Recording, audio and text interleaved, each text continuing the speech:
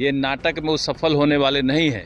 कहे कि माननीय मुख्यमंत्री जी कह दिए हैं कि जो भी सत्रह महीने में लूटा गया है सारे लूट का हिसाब होगा पूरी तरह हर विभाग और हर फ़ाइल का जाँच होगा इससे बेचैन होकर के उस, उनको लगता है कब जेल जाने वाले हैं तो उससे पहले जनता को भड़काने का कोशिश कर रहे हैं।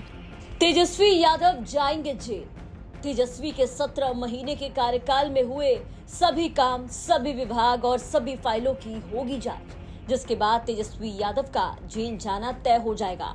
तेजस्वी यादव को पता है कि वो जेल जाने वाले हैं, इसलिए वो बेचैन है और इसी को लेकर के वो जनता के बीच जा रहे हैं, जनता को भड़काने का काम कर रहे हैं।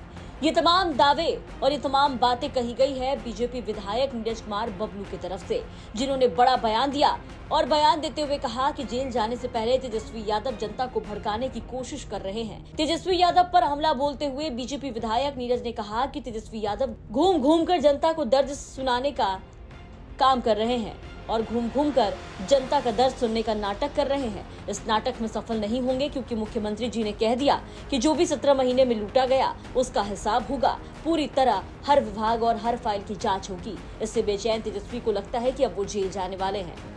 देखिए, तेजस्वी यादव जी, जब सरकार में थे, तब उनको जनता का कोई याद नहीं आता था, न विकास का याद आता था। पाँच पाँच विभाग को दबा करके रखे हुए थे हमको लगता है कि उनके दल में भी कोई ऐसा कॉम्पिटेंट विधायक नहीं था, जिनको एक भी विभाग देते, अभी घूम घूम करके जनता का दर्द सुनने का हमको लगता है कि जो नाटक कर रहे हैं ना, ये नाटक में वो सफल होने वाले नहीं हैं।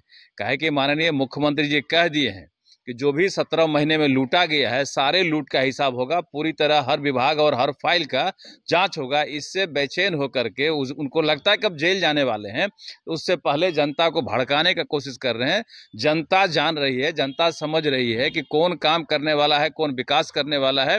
एनडीए गठबंधन जो नेचुरल गठबंधन था, माननीय मुख्यमंत्री जी, उसमें वापस आ गए हैं। और सबों को पता है कि एनडीए गठबंधन जब जब सरकार में रहती है, तब तब विकास का काम करती है और जब जब राजद सरकार में आती है, लूटने का काम करती है, जंगल राज फैलाने का काम करती है एक तरफ़ जहाँ पूर्व उप मुख्यमंत्री तेजस्वी यादव जनविश्वास यात्रा पर निकले हैं और सभी सभा में बिहार के मुखिया नीतीश और एनडीए गठबंधन को लेकर जमकर हमला बोलते नज़र आ रहे हैं। वहीं से लेकर के सहरसा से पूर्व मंत्री और बीजेपी के विधायक नीरज कुमार बबलू ने तेजस्वी पर जमकर हमला बोला। तेजस्वी के जेल जाने तक की बात कह डाली। ऐसे में अब देखना होगा की नीरज कुमार के दावों में कितना दम है। कौन कौन सी फ़ाइल की जाँच नीतीश कुमार करवाते हैं? क्या क्या घोटाला सामने आता है और तेजस्वी को जेल होती है या फिर नहीं? सहरसा से धीरज सिंह की रिपोर्ट बिहार तक।